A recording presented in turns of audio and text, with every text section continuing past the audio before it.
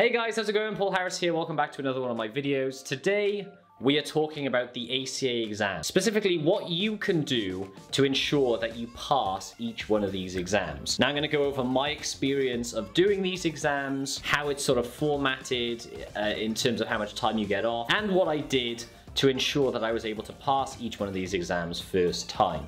So it's just gonna be a few tips, really, on how you can pass these exams. It might help you, hopefully it does. Let's get into it.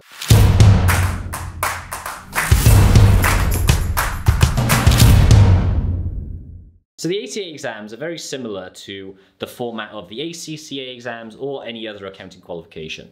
And the way they're always structured is you have, say, 15 exams, and they're split over three tiers. So you have sort of a multiple choice level of exams. You then have uh, more difficult, say, written exams that are, say, like two hours long. And then with the ACA, you have three exams at the top, which really encapsulate everything that you've learned in the previous three exams. So the way that this is structured when you're at a company like uh, PwC is that you'll have time off to really go to one of the ex external bodies that uh, PwC has a contract with, and then they will teach you uh, externally uh, all the information that you need to pass those exams. So the time you get off uh, at the beginning to do the, the beginner level exams is is not very much. You might get a few days off per exam, and and then as you progress to the harder exams, you get more time off to uh, study the material. But in each case, you don't get a lot of time to actually revise. You might get a day or so uh, before the actual exam itself. So the way it's structured is you'll, you know, you'll learn the material, say, a month or six weeks before the exam, and then uh, coming up to the exam, you know, the week of, you might get like a day or two. And for the harder exams, you might get like a, a week or a couple of weeks off to sort of cram uh, more revision material into that week. So that's the way it's structured, but it, it's, it's framed in a way that it makes it quite challenging to pass the exams because you're obviously having to cope with also doing work at the same time in amongst these exams. So it's not like you have an unlimited time to learn the material. You sort of have to make do with the time that you have available. And if the exams are set over, you know, January to March, that's the kind of busy season, which means there's a very busy time. And then if you have exams as well, it sometimes feels quite hard to pass these exams. So what's my advice for you when studying. So, so broadly speaking, how was I able to pass these exams? What what was the my main thought process when when I was going to do these exams? Well, firstly, I I knew that what came first was passing these exams. You know, PwC and other companies push you to work hard and work very long hours. But at the end of the day, you only get like two chances to pass one of these exams. And if you don't pass on your second time, you, you may get fired from these companies. So the reality is you really have to prioritize these above everything else because you're no good to that company unless you pass the exams. So if that means being very forceful about, you know, not working ridiculous hours, then that's just what you have to do. And at the at the and I would say that that's more important, particularly for you, because this is a qualification for you. You know, if that means in the short term people don't look as highly on you because you're not working as longer hours as people who've already passed the exams, then tough.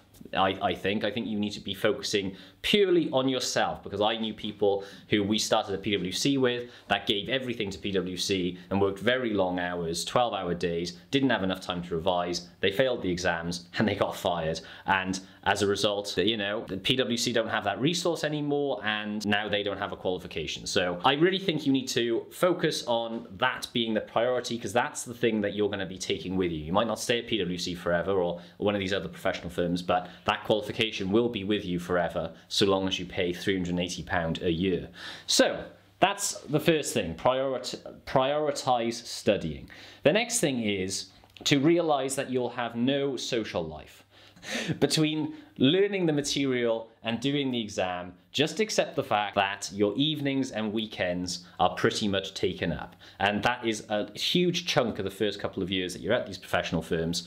It, and it probably feels a little bit unmanageable is because you're working long hours and then you also don't get a weekend. But at the end of the day, the, the quicker you're able to realize that, the more you can start to, uh, you know, climatize to that kind of environment where you, um, you don't have a social life. So it's all good. So so once you've accepted that, and I, am I'm, I'm quite good at going, um, you know, really once getting into the routine of doing something, even if that what you're doing is a very you know grinding it out process. So you know for the six weeks prior to every exam, I basically said from eight o'clock to ten o'clock every evening, I'm going to the office and revising, and and I'd go every day, every day, because I always think if you really want to compound how much you learn, if you want to get good at something, do it every single day. And why do you do it every single day? Well, you're not giving your brain any opportunity to forget the thing that you learned the previous day. You see, if you're always taking one step forward every time you do something then every time you don't do it, you're taking one step back. Just avoid taking one step back. I'll show you another analogy here relating to that is uh, uh, Michael Phelps, uh, the Olympic uh, racer, you know, most ever gold Olympic medals won, I think. And he uh, realized that all the other swimmers in his field um, or pool uh, basically took Sundays off. You know, he and he, as a result, decided to swim and do practice every single day for like 10 years. He did that, and the success of those small margins, the fact that he was training that little bit more every single week, you know, the fact that he wasn't doing it was that's the difference, and that's the that's your ability to compound what you learn and progress something is so much more vital when you do it every single day. So, eight to ten, you know, get the Red Bulls on the way to the office, or Relentless, I think I used to drink, which are dis- these disgusting um, energy drinks that are like, like, you know, double the Red Bull size. Um, probably wouldn't advise you doing that. But anything you need to do, get that work done. Just do a little bit every single day for about six weeks before the exam. Next piece of advice and you might be thinking, well, where's the advice on how to actually like learn how to do corporate reporting? That's not this kind of video, unfortunately. the next piece of advice that I have for you is that when you're uh, revising, it's so much people's tendency to pick the topics that they know well. It's so lovely to sit down, look at a question that you actually know how to pass because then you know straight away you're into it oh, i'm going to do this one first before i get onto something else so you you have all your energy the first time you sit down to do a practice question you have all that energy built up and a lot of people you know oh, i'm going to just make some nice pretty notes first and then i'll get onto the questions or i'm just going to answer this question that i know how to answer already because then once i get into the routine i can get into something else Forget that. Start with the thing you hate. If you look at a question, you go, well, that looks awful. I don't want to do that. Do that one first. Do the questions that you don't know the answers to. Because at the end of the day, you don't get you don't pass the exam because you know how to do one question very, very well. You pass the exam because you know how to do every single question to a passable ability. You know, the times have gone where you can wing it or don't need to focus on certain questions.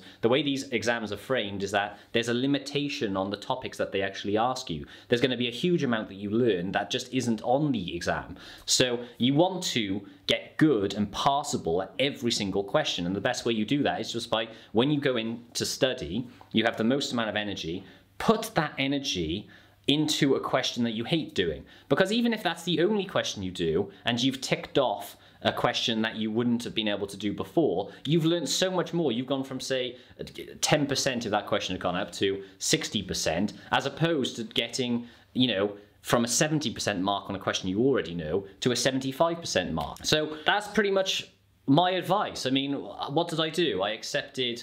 At the time, I was uh, living in Cardiff when I was passing the exams, and my girlfriend, now wife, lived um, up in Windsor, and so I literally didn't see her for like two months.